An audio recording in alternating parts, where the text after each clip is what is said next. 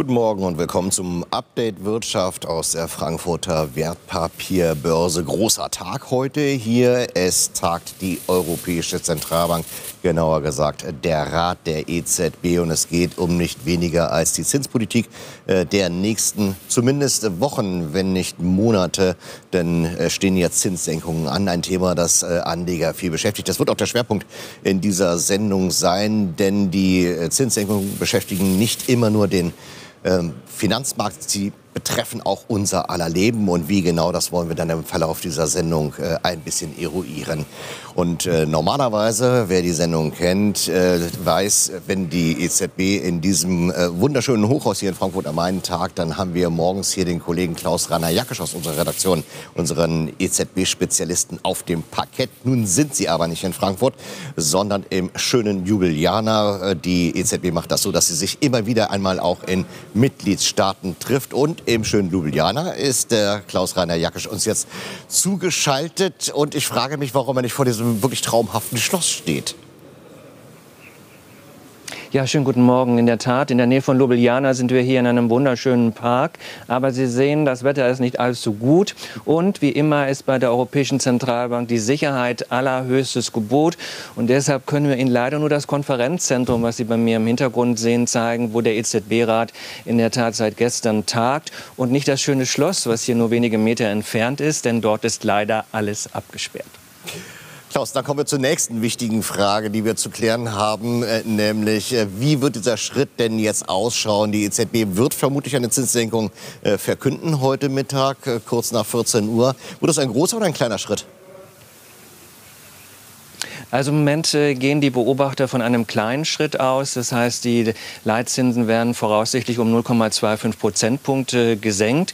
Aber es gibt einige Volkswirte, die halten auch einen großen Schritt für möglich, also 0,5 Prozentpunkte.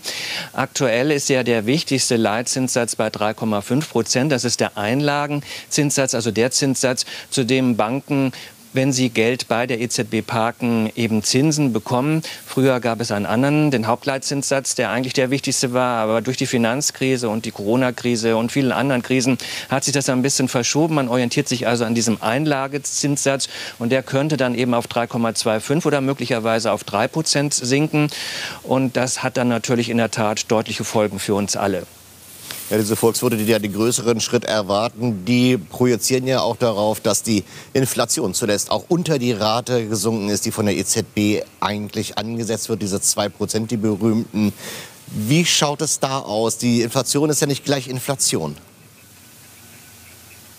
Da haben Sie völlig recht, ähm, Samir.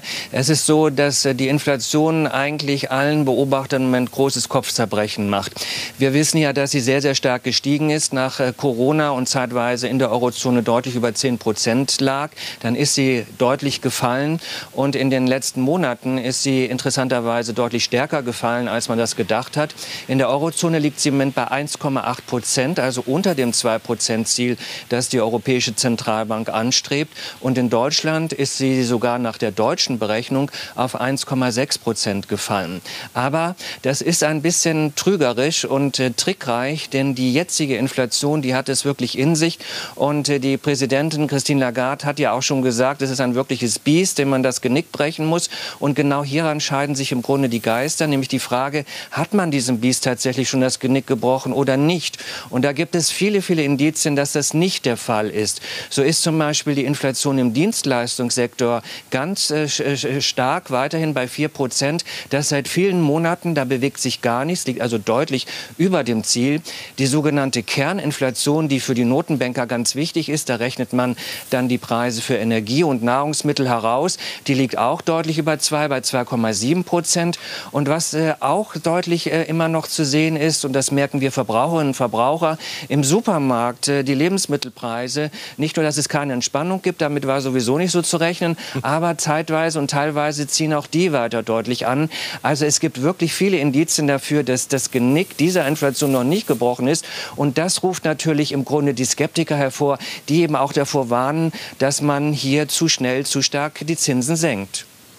Diese Zickerbäcker, die scheinen auch innerhalb der EZB zu finden sein. Das ist ja ganz interessant. Die Europäische Zentralbank ist ja eigentlich über Jahre hinweg dafür bekannt gewesen, dass sie alles äh, sehr unterm Deckel hält. Jetzt äh, äußern sich die verschiedenen äh, Bankpräsidenten, Joachim Nagel beispielsweise, der war ja offen für die nächste Zinssenkung. Sein österreichischer Kollege hat dann einen Tag später gesagt, ja, eigentlich seiner Meinung nach eher nicht so. Wie ist denn da die Stimmung intern in diesem Rat? Ja, da gibt es in der Tat einige Spannungen äh, und interessanterweise verschieben sich da im Moment äh, sozusagen auch die verschiedenen Sektionen und die, äh, gemein, das gemeinsame Vorgehen. Eigentlich war es so, dass der österreichische Notenbankpräsident, den Sie gerade genannt haben, Robert Holznagel, äh, dass der immer ein ganz scharfer Vertreter einer harten Geldpolitik war und das auch weiterhin ist. Das liegt vor allem daran, dass Österreich wirklich besonders stark unter der hohen Inflation gelitten hat. Das ist ja ein Nachbarland hier in Slowenien und äh, dass dort weiterhin auch es große Probleme gibt, auch wenn dort die Inflation gesunken ist. Äh, unser Bundesbankpräsident Joachim Nagel, der war ja immer auch ein starker Vertreter dafür, dass man vor allen Dingen die Inflation bekämpft und dementsprechend die Zinsen deutlich senkt. Doch jetzt hat er in seinem letzten Interview deutlich gemacht, dass er durchaus auch offen ist, dass es weitere Zinssenkungen oder zumindest heute eine weitere Zinssenkung gibt. Äh, das hat Robert Holznagel sicherlich nicht gefallen und alle die, die zum Lager der Falken, also der Hardliner, gehören.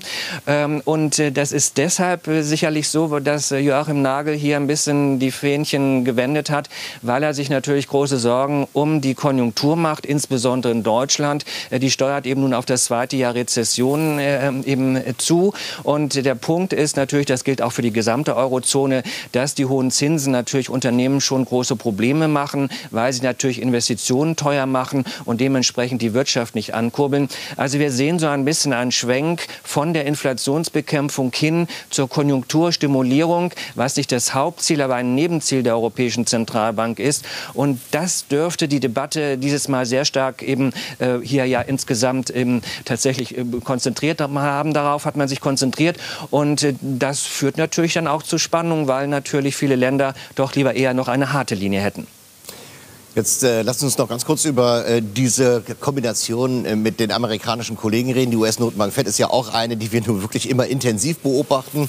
Äh, inwieweit spricht man sich äh, von Seiten der EZB dorthin ab? Wir sehen ja zuletzt auch den Eurokurs, der dann äh, inzwischen schon unter einen Dollar 09 gefallen ist, weil die Amerikaner einen großen Schluck aus der Pulle genommen haben.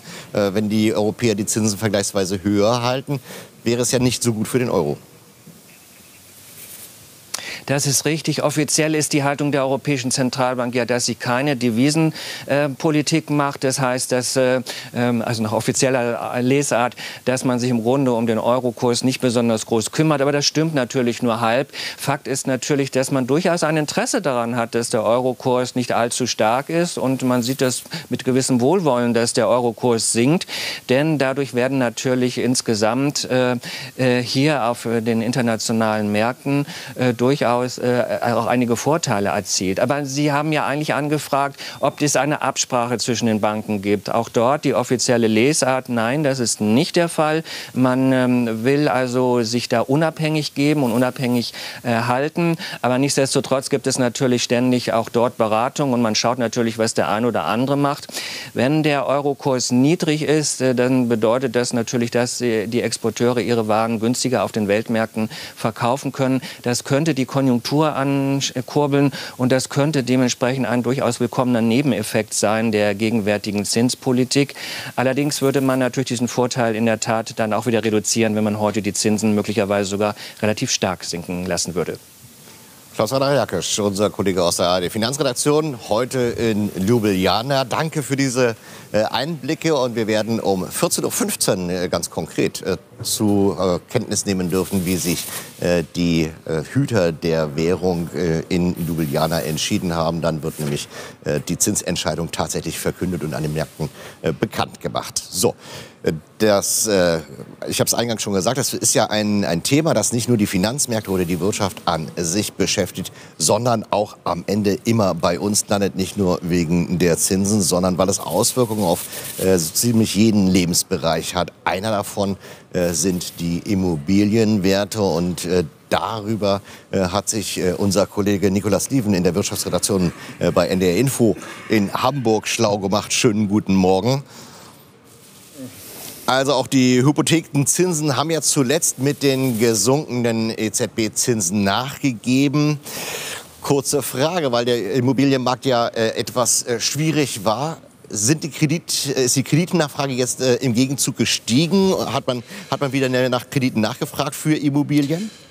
Ja, ging ja in diesem Jahr ähm, eher lahmlos. Und jetzt aber haben wir neue Daten bekommen von der Bundesbank fürs dritte Quartal. Und da muss man sagen, gerade bei den Privatleuten ist es so, dass die doch äh, verstärkt nach Krediten, nach Immobilienkrediten ähm, fragen. Die Banken sagen, die Nachfrage ist so hoch wie seit ähm, 15 Jahren nicht mehr. Und da, man muss sich einfach nur den Kreditverlauf oder den Zinsverlauf anschauen. Wir hatten im vergangenen Jahr bei einer zehnjährigen Laufzeit Zinsen, die lagen so bei 4,2 Prozent. Jetzt sind es 3,3 Prozent. Jetzt nehmen wir einfach mal so einen Durchschnitt durchschnittlichen Immobilienkredit, der liegt zurzeit bei ungefähr 400.000 Euro. Da hat man ähm, vor einem Jahr alleine für die Zinsen monatlich ungefähr 1.400 Euro bezahlen müssen. Jetzt sind es ungefähr 1.100 Euro. Also das macht schon richtig was aus. Und wenn wir jetzt hier unsere Immobilienspezialisten fragen, dann sagen die, na, äh, ist schon ein bisschen besser geworden, aber Trendwende ist das noch nicht. Wo ist der Haken?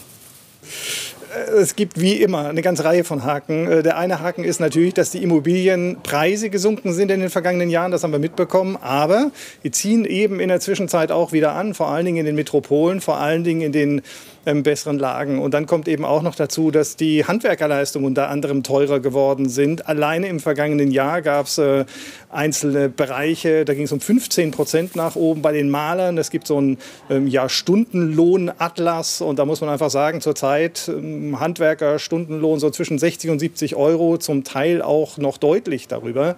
Und deswegen sind auch äh, oder ist auch die Höhe des durchschnittlichen Immobilienkredits dann deutlich gestiegen in den vergangenen Monaten um ungefähr ungefähr ähm, 10 Prozent. Und nur werden viele sagen, na ja, die Zinsen sinken doch, was soll's, dann kann man es darüber wieder auffangen. Aber ich sage immer, wenn Klaus Rainer Jackisch nicht genau weiß, wo die Zinsen hinlaufen, und das haben wir gerade gehört, dann weiß es niemand. Und da muss man einfach sagen, ähm, die einen sagen, ja, die Immobilienzinsen werden noch mal fallen, die anderen sagen, nee, nee, die Inflation kommt möglicherweise wieder zurück. Also ich würde nicht darauf setzen, dass es noch mal deutlich nach unten geht.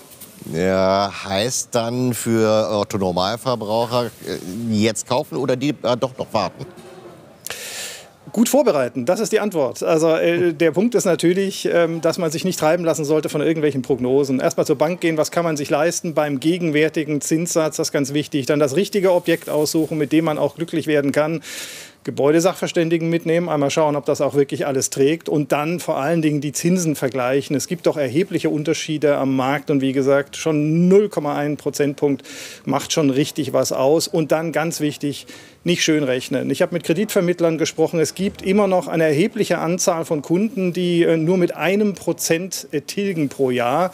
Da bleibt einfach am Schluss dann noch, wenn die Zinsbindung mal ausläuft, beispielsweise nach zehn Jahren, da bleibt einfach noch sehr viel vom Schuldenberg übrig weil man plötzlich die Anschlussfinanzierung vor sich hat mit höheren Zinsen. Exakt, mit, mitunter höheren Zinsen. Und wenn der Zinssatz dann steigt auf 5 oder 6 Prozent, dann hat man echt das Problem, wenn der Schuldenberg noch richtig äh, hoch ist. Und das, der zweite Punkt ist immer der sogenannte Beleihungswert. Auch wichtig. Gerade wenn man viel getilgt hat, dann geht der Beleihungswert ähm, dann letztendlich oder der Anteil nach unten. Und da setzen die Banken natürlich drauf. Wenn meine Immobilie 400.000 Euro äh, kostet und ich muss aber nur noch in Anführungszeichen 60 Prozent, 240.000 Euro finanzieren, dann ist die Bank auf der sicheren Seite. Das zahlt sich dann aus letztendlich bei den Zinskonditionen. Wenn die Immobilie 400.000 Euro kostet und ich muss 400.000 Euro äh, finanzieren, dann wird es teuer. Dieses Risiko lassen sich die Banken einfach bezahlen. Jetzt haben wir viel über die gesprochen, die einen Hauskauf möglicherweise planen und sich vorbereiten. Ähm es gibt aber ja viele Menschen, die jetzt gerade in diese Situation kommen, wo die Anschlussfinanzierung fällig wird, weil man die niedrigen Zinsen äh, vor zehn Jahren wirklich genutzt hat, äh, Haus gebaut oder gekauft hat und jetzt sind die zehn Jahre rum, die Anschlussfinanzierung ist fällig. Kann man da schon Tipps geben, was, wie man sich da verhalten sollte? Also das wird ein Problem werden. Ich habe mit den Kreditvermittlern gesprochen und die haben gesagt, im Augenblick noch nicht. Im Augenblick können es viele noch gut abfedern, aber das wird zunehmend ein Problem werden. Wenn wir zurückblicken, der Zinssatz, zehnjährige Laufzeit lag da bei 1,9 Prozent. Zurzeit sind es, wie gesagt, 3,3 Prozent. Das spürt man schon richtig, wenn man nicht ordentlich ähm, abgetragen hat.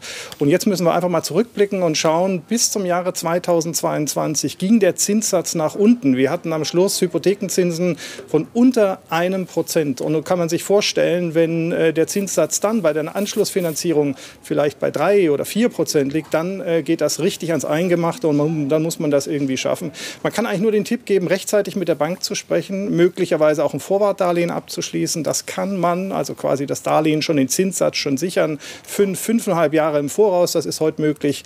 Wie gesagt, zurzeit noch, noch kein so großes Thema bei den Kreditfinanzierern oder Vermittlern. Aber ich befürchte, das wird noch ein großes Thema werden in den nächsten zwei, drei, vier, fünf Jahren. Nikolas Lieden aus unserer NDR Info Wirtschaftsredaktion. Herzlichen Dank für äh, diese Übersicht. Und äh, wir haben es ja gerade eben gehört, wenn selbst Klaus-Rainer Jackesch noch nicht einmal weiß, äh, wohin sich der Zins entwickeln wird, dann wissen es die restlichen Marktteilnehmer hier natürlich auch nicht. Entsprechend hatten wir die letzten Tage ein bisschen Zurückhaltung, äh, kurzes Rekordhoch äh, am Anfang der Woche. Aber gestern war der Handel ein bisschen flau, wenn man das so sagen möchte. Deshalb schauen wir mal, wie der DAX jetzt tatsächlich wenige Stunden vor der Zinsentscheidung sich entwickelt hat. Inzwischen logischerweise in den Tag gestartet bei 19.527 Punkten steht er jetzt kurz nach Handelsbeginn, also ein halbes Prozent im Plus. Man geht also hier schon ziemlich sicher davon aus, dass die EZB, dass der Rat eine Zinssenkung beschließen wird. Und im Endeffekt ist es dann auch erst einmal egal, äh, wie hoch dieser Schritt wird. Hauptsache, es geht in die richtige Richtung. Das stellt äh, nicht nur die äh, großen Investoren vor die äh, das entscheidende Frage, wohin mit dem Geld, sondern äh, auch diejenigen, die jetzt angesichts sinkender Zinsen natürlich gucken müssen, äh, wie sie äh, ihr Geld vermehren können, wenn sie es denn nicht nur anlegen, sondern irgendwo lagern oder aber auch anlegen möchten. Deshalb ist Alim Massarwa zu uns gekommen von Investor. Schönen guten Morgen. Ja, was tun mit dem Geld, das ich jetzt äh, noch zurückgehalten habe und äh, zuletzt vielleicht auch nicht angelegt habe? Anlegen, alles raus, jetzt alles äh, in Aktien, die ja momentan total beworben werden. Also grundsätzlich sind alles oder nichts Entscheidungen meistens nicht ganz so gut fundiert. Vielleicht fühlt man sich als Anleger da auch nicht besonders gut mit.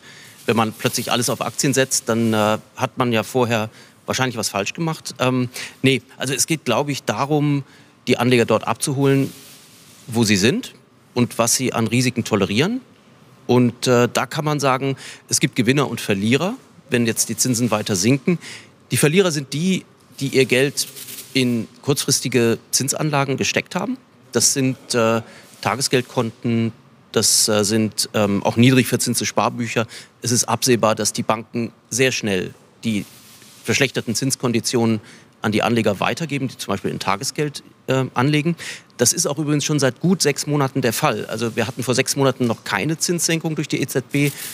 Proaktiv haben die Banken allerdings äh, die Zinsen auf Tagesgeld schon mal gesenkt. Und ich glaube, wir sind jetzt bei ungefähr zweieinhalb Prozent, obwohl der Zins ja noch bei dreieinhalb Prozent liegt, wie wir da wissen. Insofern, äh, da kann ich Anlegern nur dazu raten, sich nach Alternativen umzuschauen. Also wer heute im Tagesgeld ähm, investiert oder sein Geld parkt, der sollte sich in Richtung Geldmarktfonds oder Geldmarkt-ETFs umschauen, weil dort ist diese Transmission vom EZB-Zins zu den Konditionen, die der Anleger bekommt oder die Anlegende, ähm, sehr viel unmittelbarer. Das heißt, der EZB-Zins liegt bei dreieinhalb Prozent. Wenn Sie einen Geldmarkt-ETF oder einen Geldmarktfonds halten, werden Ihnen diese Konditionen recht gut wiedergespiegelt. Deswegen ist das eigentlich jetzt die Zeit, und zwar ohne Zusatzrisiko, von Tagesgeld zu Geldmarktfonds und Geldmarkt-ETFs zu wechseln die auch Sondervermögen sind. Ganz kurz, letzter Satz. Das sind Fonds, das sind Sondervermögen, die sind insolvenzgeschützt. Das heißt, da muss man auch nicht die 100.000 Euro Grenze beachten, wie man es ja bei Tagesgeld macht. Da sind ja viele Leute im, äh,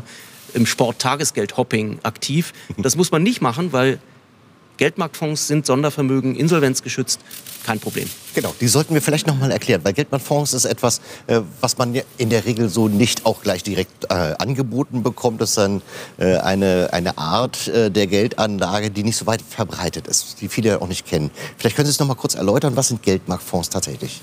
Das sind ähm, Töpfe, also das, ein Fonds ist ja quasi ein, ein, ein, ein wenn man so will, ein, ein Sammeltopf, wo ganz verschiedene Wertpapiere reinkommen. Das ist bei Geldpap Geldmarktfonds und ETFs ähm, auch nicht anders. Das sind sehr kurzlaufende Anleihen, die aus ganz verschiedenen Quellen kommen, die aber eines gemein haben, sie sind sicher und sie haben sehr, sehr kurze Laufzeiten. Und deswegen sind die in der Lage, den EZB-Zins relativ zielgenau auch darzustellen.